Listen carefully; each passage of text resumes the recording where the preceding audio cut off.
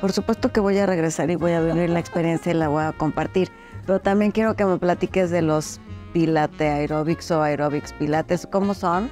Porque voy a ir a Agua Pilates porque quiero tomar. En la pandemia te reinventaste una vez más. Sí. A ver, cuéntanos de... Bueno, me operaron las dos caderas. Entonces, bueno, no puedes correr en la playa. Ya no puedes, este, ya, ya sabes, todo lo que no puedes. Ya no puedes jugar tenis, ya no puedes hacer eso. Bueno, ¿y ¿Qué puedo hacer? Pues nadar, pues, al agua. Yo dije, qué aburrido, ¿qué hago en el agua? O sea, o sea, nado, pero ¿cuánto tiempo nadas? No voy a nadar Claro, ahora. claro. Entonces, bueno, conocí a esta argentina y me dijo, yo doy clases de aquapilates, yo quiero aprender. Entonces empezamos con los tubos y con las pesas y Qué padre. es divertidísimo, no te da calor, es una fortaleza que haces con brazos, con abdomen, con pierna, Por la resistencia. por, por la resistencia del agua, mucho más fuerte y logras un- una, una condición, aparte al aire libre, Claro. el sol, irradias vitalidad. Irradias vitalidad que tú la irradias, pero además la vitamina D que la gente le huye es una maravilla. Y ve qué bonita la piel con un color del sol. Obviamente con protección que compremos en Ultrafam, asesoradas. ¿Cuál es la que es conveniente? Exacto, pantalla. Sí, ¿no? Pantalla. Y fíjate, Pero es salud. sí, lo que hacen los bloqueadores es evitar que pasen los rayos que lastiman, Los nocivos. más no los que cambian la melanina. Exacto. Cambias color de piel, Color bonito. irradias salud. Te pones tus cremas antes y tus cremas después. Sí. Y todo lo feliz. 100% es un estilo de vida que hay que aprenderle, porque sa- sacas los beneficios de la naturaleza, del sol, que es, un, es una fuente de vitaminas, siempre y cuando lo usemos con protección, ¿no? Y sí, mira, todo se puede, pero necesitas saber cómo hacerlo. Claro. no puedo correr en la playa, pero sí puedo correr en el agua. Exacto. Ya no puedo este, jugar tenis, pero tengo mis movimientos con las pesas Exacto. son el mismo. Para el brazo y para el hombro y para y todo. forman los hombros, Exacto. bonitos en una mujer, no son así redonditos, que forman los pectorales, que forman el abdomen, que forman la cintura. Y entonces, bueno, tengo como 10 alumnas que vienen. Este, a veces Ay, yo quiero ir, por favor. de Voy a hacer un viaje a Cancún y voy a ir, por favor, te lo pido. Y bueno, traes tu traje de baño, Claro. yo tengo las pesitas, yo tengo los tubos. Feliz. Yo tengo los bloqueadores. Feliz. Ah, también los bloqueadores. Sí, sí, sí. porque ¿Qué ma- sí, sí. para llegar y antes de. Y también para que el pelo no se te ponga Ok. de la gorra, que todo ese asunto. Ok. Y sí, pues ya, si te cuidas todo eso, pues sales de ahí radiante y aparte feliz. y- Radiante y con endorfinas. Sí, porque corres, es una hora sin parar. Wow, qué maravilla. Hablando del pelo, ese pelazo, cuéntanos del pelo, ¿cómo decidiste? Hay poca gente, bueno, en mi opinión, que yo digo, qué padre se le ve el pelo blanco. Tú, porque te ves más elegante, más joven, te queda perfecto con tu tono de piel. ¿Cómo fue tu transición o cómo fue la decisión de decir, ya quiero mis canas? Vino una pandemia, ¿te acuerdas? Claro, Y bueno, era la rayita blanca y la rayita blanca y dije, no, ya no puedo con esto. No voy a estar toda mi vida con el tite, el crayón, el spray para... Viajaba y era un desastre. Entonces, pues decidí, ¿sabes? Me voy a dar la cana. Y entonces me empecé y fui con el estilista, le dije, mira, venme poniendo rayitos así claros para que se vayan disfrazando. No, hombre, quedé como cucaracha de sumidero. Me quedaban a decir, ojos maltratados. Hasta que un día dije, ya sabes qué, rápame, quítame el pelo, ya, ni modo, fuera. Entonces me lo cortó así, chiquititito, y empecé a crecerlo. ya blanco. Ya blanco, es blanco, blanco, así como. O sea, blanco, blanco, pero qué bonito que crezca blanco, blanco. Porque el mío es blanco, negro, blanco, negro, pues no. Entonces, si fuera blanco, blanco, está bien padre. Así lo tenía mi papá. Ah, qué bien. sí, Así lo tiene mi hermana, mi hermana Pilar también se lo recoge. Sí. Y, es, y somos felices. Felices y qué liberación. Sí, bueno, lo sabes, ya no tienes que ir al... Pues ya vas, ya, ya me pongo esta Exacto, el azul divertido. porque porque creo en Cancún, porque esta es la arena de Cancún y este es el mar. Ay, ve. Mis perfumes de Cancún son de este color y... y Qué este- padre. A ver, platícanos de los perfumes de Cancún. Bueno, he hecho tantas cosas en mi vida. Bueno, invento algo. Está padrísimo ser tan creativa. Pues mira, no sé si es eso o simplemente se te antoja hacer algo y lo haces. Entonces estaba yo detrás del mostrador y las clientes. Queremos un perfume de Cancún. Ay, señora, qué lindo que le guste tanto Cancún, pero pues Cancún no hace perfumes. Y no, pero yo quiero un recuerdo de Cancún. Y, y entonces voy con Pepe y le digo, oye, Pepe, no puede ser, el cliente lo que pida. Vamos a aventarnos un perfume. Claro. Ay, Elena, pero ¿qué? ¿Cuál? Dije, no te preocupes, yo ya sé cuál. Yo lo voy a, yo lo voy a hacer, nos vamos ya a Nueva York. O sea, también eres perfumera. Bien, soy nariz. Nariz, exacto. Sí, nariz. Le vas a dar a Cancún algo. O sea, dices, "Ah, bueno, a dar algo". Le voy a dar un souvenir que la gente se va a llevar y va a recordar. Al mundo. Y va a compartir. Y va a decir, mira, cuando estuve en Cancún, este es el color del mar. Esta es la transparencia del mar. Este es el olor del, del, del mar. Y se lo llevan y lo comparten y lo, lo aman. O sea, la verdad lo aman. No sabes cuánta gente llama y quiero volver a... Todo lo vendo en todo el mundo. Sea, Está aquí. Entonces, bueno, hicimos la primera eh, con Pepe. Le digo, mira, vamos a, vámonos a, a ver cómo nos va con esta compañía en Nueva York, Aromatics, que trabajamos. Hacemos un mes a oler perfumes. Ya, Elena, no, todavía no. No, este todavía no. No, este todavía no. Qué padre que seas nariz. Se me hace una cosa muy importante. Me encantan los perfumes. Muy importante. Y este, entonces bueno, eh, finalmente ya nos decidimos por uno y lo compramos. Y luego lo hicimos en una botellita redonda, con unas florecitas y todo el rollo. Porque era prueba. Claro. Vamos a comprar cinco, bo- cinco mil botellas de algo, lo que sea. Vamos a hacer una botella especial. Que si no funciona, pues nos regalamos ya. Bueno, volaron, volaron. Y ya, ya les llegó el perfume de Cancún, ya les llegó el no. Entonces, bueno, Pepe, mi, mi marido, empezó. Elena, no podemos estar trabajando con una botellita así. ¿Cómo se la llevan de, de que, la meten en la maleta y ya llega toda fea?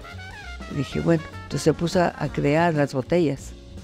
¿Qué es lo que la gente busca cuando va a la playa? Pues anda recogiendo conchitas, caracolitos, ya sabes, estrellitas de mar, lo que fuera. Pues a ver quién hace estas cosas, imagínate. Nos fuimos a, a Francia, nos fuimos a Inglaterra, nos, carísimos, no sé, no tener experiencia es... Acabamos en vitro Ay, qué padre. y compañía mexicana, Exacto. perfume mexicano, destino mexicano, Claro. es un, es un producto mexicano. Qué belleza, Vitro. Vitro. Entonces, bueno, Vitro, pues obviamente hace las botellas de Corona, millones, y a mí, pues nosotros dijimos, ¿cuánto? ¿Cuánto nos va a salir? No, pues mínimo tienes que hacer 30 mil para que me valga la pena. Y 30. 30 mil de cada tamaño. Oh my God.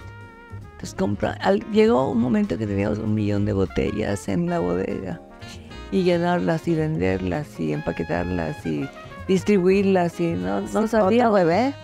Otro bebé. Y ya, total, ahorita ya remodelamos todo el ambiente, ya lo dejamos nada más como un souvenir.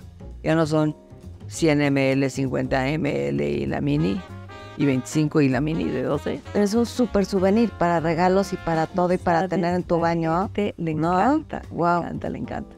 Entonces se venden muchísimo y para nosotros es el orgullo que, que la gente se lleve el recuerdo de Cancún. Claro.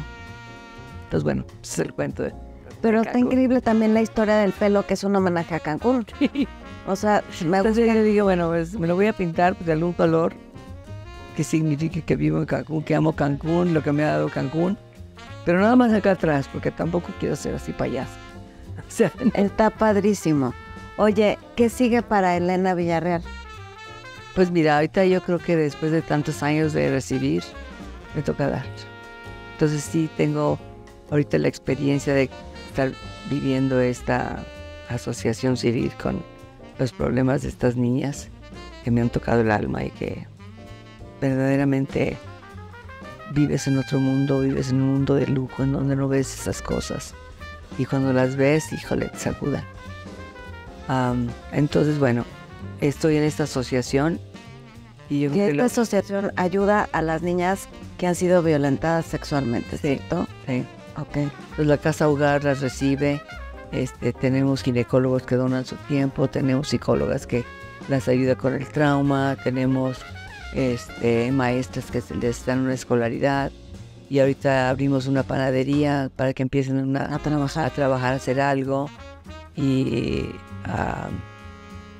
y la casa funciona bien. Eh, con la tienda, se llama El Segundo Aire, recibo donaciones de, pues les hablo a mis amigas y tengo otra señora que trabaja conmigo, Ana Catalina, que también entre las dos donen, me donen, me donen y me donan lo que me donen.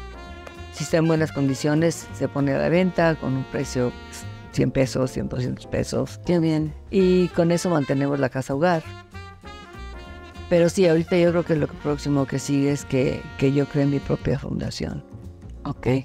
Porque eso me va a dar pues la satisfacción de, de dar a la, a la sociedad, dar a la comunidad, dar a mi, a mi persona. Este, empezando en casa, o sea, porque digo, muchas de mis vendedoras, mis asesoras, son mujeres que son las que sustentan la casa. Exacto. Entonces, bueno, sus hijos, hay que enseñarles, ellas cómo van a vivir, ne- tienen necesidad. Todavía no tengo muy claro exactamente cuál va a ser la función, ni a, ni a dónde me voy a enfocar, porque hay tantas necesidades, tantísimas, que quisieras apoyar a los viejitos, a los Exacto, niños, todo. a las mujeres violentadas, a las niñas desprotegidas. ¿A quién le vas? Si haces demasiado no haces nada. Exacto. Tienes que enfocarte. Entonces, bueno, ese es ahorita el proyecto que, que quiero lograr. Más la celebración de mis 50 años, Por supuesto. que va a ser... Sí, sí, 50 años, son 50 años. Mi hijo cumple 50 años este año. Ah, La empresa cumple 50 años en dos años. Entonces, bueno, vamos a... Me gustaría lanzar un- una fragancia eh, limitada wow. para el evento. Me gustaría pues tener invitados 50 parejas para una cena súper Ay, especial. qué bonito, claro. No te voy a contar todo el rollo porque si no, si no se me hace van a decir, ay, mentirosa, nada. Estoy 100% segura que sí se te va a hacer y hasta más grande.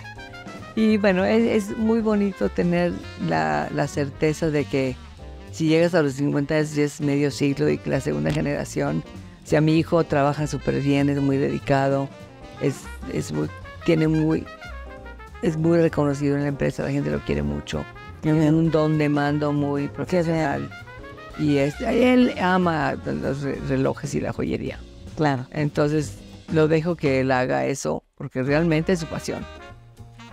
Y yo le digo, si sabes que a mí déjame mi perfumería. Claro, es un Yo- complemento perfecto. Yo eso es lo que amo, no lo voy a dejar morir, lo voy a, lo voy a crecer, eso es lo que nos dio para todo.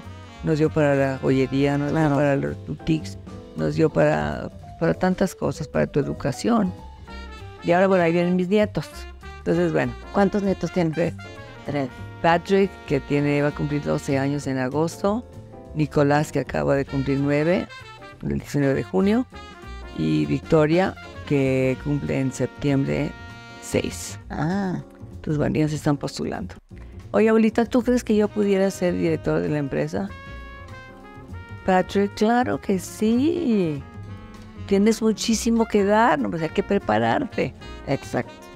Y abuelita, ¿tú crees que yo pudiera ser el financiero de la compañía? El otro. Mira, pues tan chiquitos y ya saben. Oye, exacto. Pues mira, si trabajas bien y estudias bien y sabes lo que estás haciendo, pues esto se lo tengo que dejar a alguien. Claro. Si ustedes van a Un legado bien es un importante. legado. Así es que bueno, divinos, mi nieta es preciosa, es todo así. Este, princesita. Entonces, bueno, pues mira, como digo, ah, yo, yo creo que aprendes lo que ves. Yo sé que mi hijo pues aprendió lo que vio porque yo cuando estaba trabajando, o sea, yo me lo llevaba a todos lados, pues con quién lo dejaba. Entonces, bueno, el pobre nació en la tienda. Yo armando tiendas y el pobre niño durmiendo debajo del mostrador. Entonces, pero bueno, estaba conmigo Pero es un sobreviviente, además. también. Entonces, bueno, sobrevivió a una madre que, que, que, lo traía de un hilo para aquí, para allá, para para allá. Y este. y pues yo creo que fue lo que vio. Yo me acuerdo de muy chiquito, y teníamos en esa época, no- nos daban muchísimas muestras. Nos ponía su mesa afuera de la perfumería eh, con todas las muestrecitas. Mamá, esto es mi ultrafemito, ¿eh? Yo aquí voy a vender mis perfumes. No, bueno, wow. Pues es que sí, eso es lo que vivió desde bebé. Sí, sí, la verdad que O sí. sea, que lo trae en su DNA. Sí, lo trae en su DNA. Y así, pues le gusta el comercio, le gusta el lujo. Es un hombre súper educado, es un muchacho. Bueno, un hombre, ya no un muchacho. Eh, muy formal, muy cumplido, muy... Qué padre. Es mi hijo, pero pues es- así es, así es. Qué Te padre. podría decir que es muy irresponsable, pero no lo es. Y este, y bueno, me llena de orgullo, me llena de, de emoción de que, que, que al mismo tiempo que estaba yo trabajando, le pude inculcar y enseñar Claro. Yo, cómo, cómo yo hacía las cosas y cómo eran los valores de esta empresa, que siguen siendo los mismos valores hasta hoy.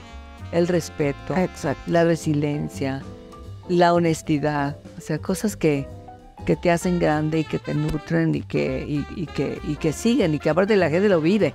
Claro. Vive contigo, tu personal, tu, tu gente que te quiere, tus amigos. Y así es. No, y que te has creado la reputación porque eres congruente con los valores que, que siempre has practicado, Así ¿no? es. Y el éxito yo creo que es, además de el trabajo y tanta cosa, es un reflejo de esos valores, Así tiene que ser. ¿no? Y que tengas la cabeza en alto y que digas, mira lo que he creado y este es el legado para hijo y su Hijos, hijos. increíble y que ya ellos te digan, quiero ser parte y tú crees que puedas, se me hace padrísimo porque son chiquitos. Sí, no iban a las fiestas y ahí están en la foto. Qué increíble. Sí, sí, no, pues mira, es el principio y es lo que ven y es lo que, es lo que, como dice, es lo que maman. Y de ahí pues nace el cariño, la responsabilidad, es porque mi, ta- mi papá trabaja tanto, porque mi papá viaja tanto. Exacto. y este porque mi mamá está también trabajando y taratata.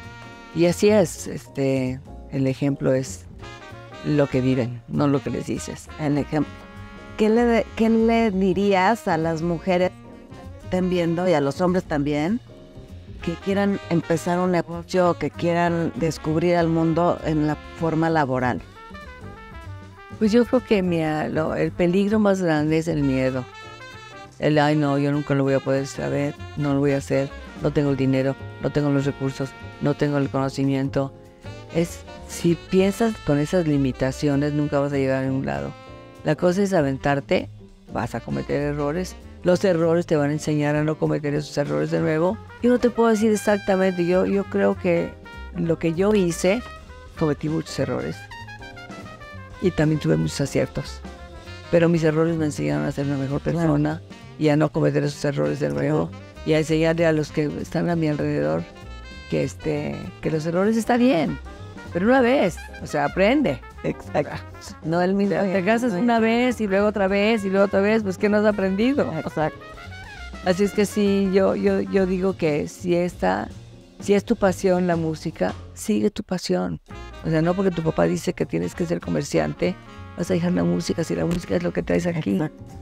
O sea, ¿cuántos errores cometen los papás en decirle a tu papá, no, tú te vas a ir a un negocio, a una escuela de negocios, porque si no, ¿quién va a atender mi negocio? No, pues eso no es tu problema. El problema es que tu hijo sea feliz. Exacto. Y este, entonces bueno, para mí, te digo, y- y todas las mujeres que he tocado que me han reconocido como parte de su vida, yo lo he hecho sin querer, lo he hecho por el ejemplo que les he dado.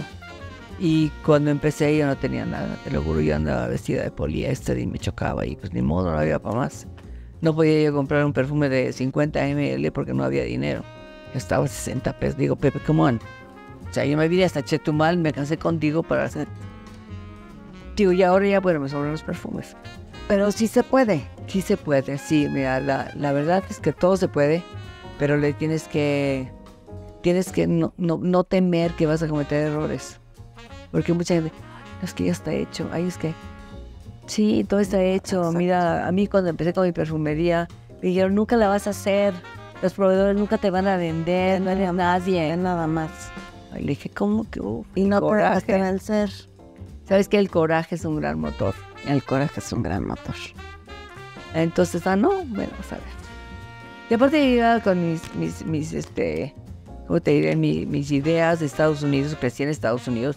Es otra manera de vida, o sea, yo llegué, yo trabajaba en una tienda. Si a mí me agarraban robando, era afuera. Claro, O sea, no había discusión.